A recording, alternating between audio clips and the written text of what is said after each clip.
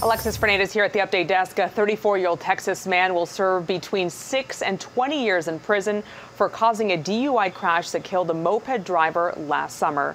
Police say this man, Andrew Rodriguez, was driving 141 miles per hour in a Lamborghini before the crash that killed 58 year old Walter Anderson. Rodriguez pleaded guilty to a felony count of DUI resulting in death.